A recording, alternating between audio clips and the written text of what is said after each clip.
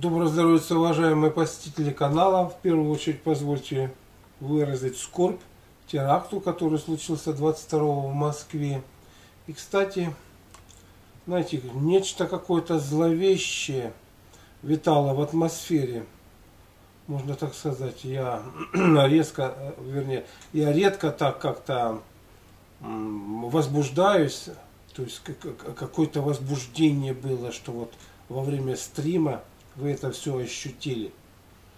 Какой-то накал был в, в энергетике пространства, который на мне отразился. Ну, еще разок. Память погибших во время теракта на кругу Сити Холл. Я там бывал, видел, проезжал. Светлая память этим невинным людям. А теперь, а теперь по теме я не буду говорить, что вот тут э, люди пишут. Геннадий, Петрович, вы действительно выдающийся мыслитель современности, наш светоч, обожаю смотреть ваши видео, ваш канал «Островок здравомыслия». Пение тибетских чаш – это фантастика, как будто мозг вибрацией воздуха массажирует. Но я не для этого. Вот интересно, на уринотерапии сегодня весь мир пьет мочу. Действительно, оказывается, знаете, вот эти вот э, с одной стороны, движение зеленых, ну, как бы сказать, всколыхнуло такие, э, как бы сказать, э, сомнительные методы и оздоровления, и питания и так далее. В частности, пишет э, пользователь, благодаря вашим книгам, а вот тут я хочу особо остановиться, чтобы вы понимали и задавая вопросы, вы ищете ответы. А ответы вот они, уже те люди, которые прошли через все это. Итак, благодаря вашим книгам я в 16 лет вылечил себе псориаз. Болезнь была с самого детства, мази не помогали, только очищение печени плюс голод и урина. Это единственный способ избавиться от псориаза и экземы. Я бы сказал, это общий известный метод или способ избавиться от множества э, различных болезней, таких особенно как псориаз и экзема. Но это не единственный. Далеко не единственный вообще-то. Сейчас мне 40. Псориаз не проявлялся ни разу за все года. То есть э, меня всегда интересует, вот как бы сказать, механизм всего этого. А именно, смотрите, псориаз, это все у нас э, и экзема на, на коже отражается. То есть кожа страдает. Что-то что-то такое происходит с кожей, э, что она не может самостоятельно справляться. А именно, здесь, э, как бы сказать, э, затронуты такие функции кожи, на которые она ну, не приспособлена для этого. А так как мы знаем, что, смотрите, кожа, толстый кишечник и печень связаны между собой, и тут, правда, не говорится вот очищение это. Возможно, был а, какой-то псориаз, возможно, было до этого поражение организма паразитами. Но как только мы с вами что сделали? Очищение печени. Мы с помощью очищения печени, я о котором разговариваю, нормализовали все виды обмена, которые происходят в организме. Они завязаны именно на печени. Сразу же лучше стал работать весь в целом организм. Естественно, печень заработала лучше, и те шлаки, которые она ранее не могла удалять, и они накапливались, вот как вот эти старческие пятна накапливаются у человека, вот эти старческие пигментные пятна. Это говорит о том, что печень у них уже, так сказать, очень-очень ослаблена. И вот эти вот все эти шлаки, там холестериновые, билирубиновые, вот эти пигменты и так далее, начинают на коже э, это самое, э, отражаться и скапливаться. То есть уже этого не стало. То есть кожа получила облегчение. Далее, голод. А что делает голод?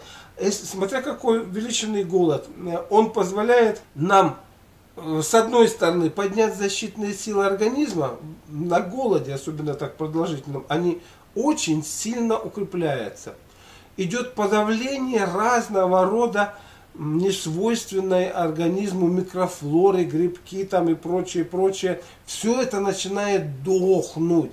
И плюс еще урина. Урина позволяет за счет, как бы сказать, вот э, как гомеопатическое средство, э, так называемое лечение назодами, позволяет то, что уже отмерло, допустим, в организме на голоде, отмерло, и является для этих самых э, мик микробов ядов, то есть сами микробы уже отмерли, но еще какие-то остались.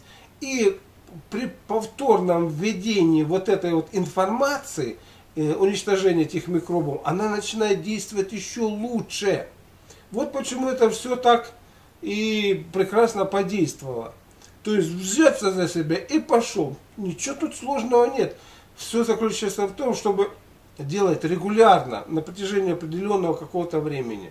И все это нормализуется. То есть мы не лечим. И вообще, естественное оздоровление – это процесс нормализации работы организма. Все, больше ничего не надо делать. И здесь вот очищение печени, голодание там, и урина, там, естественно, с питанием, естественно, с дня, это самое лучшее и умственно, будем говорить, эм, активность. Периодически очищаю организм по 3-4-5 дней, сижу на голоде. Ну, нормально. Периодически, не постоянно. То есть, когда человек понимает, насколько у него работает на голоде организм, как надо входить, как надо проводить голодание, как выходить из него, то это все нормально. Это, знаете, так, само собой. Кроме того, питание правильно, сахар исключила полностью. Как хорошо, что мне в юности попались ваши книги. Если бы не книги, я бы до сих пор мучилась с этой болезнью. Более того, а, вот это вот все лечение, которое, оно не направлено на то, чтобы нормализовать работу организма. Оно якобы, вот мы будем лечить эту болячку, тут смажем, там еще что-то там сделаем, будем, будем подавлять. Оно еще внесет хаос и э, интоксикацию, нагрузку зашлакованности в организм и вызовет еще ряд других сбоев, которые усугубят состояние человека. На данный момент не выгляжу на свои года. Мне дают не 40, а 27-29 лет. Спасибо вам. Отлично, отличное письмо. Отличное письмо. И главное, что здесь есть проблема псориаз с кожей. И есть ее решение, голод там, урина там и другие перечисленные.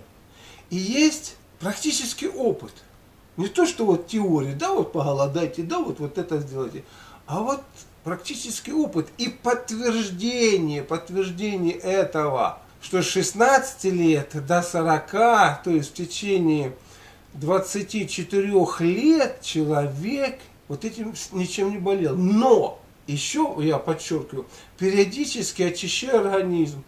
То есть человек поддерживает вот эту внутреннюю чистоту своего организма. И все нормально, все хорошо работает. Если этого не сделать, если этого не сделать, то, естественно, толку, толку не будет. Как связаться для консультации? Вот, пожалуйста, вот и связывайтесь, консультация.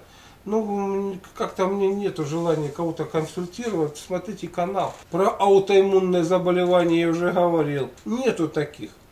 Когда нечего сказать, вот начинают придумывать вот эти вот разные, разные вещи. Пожалуйста, толстый кишечник, печеночку и, и нету.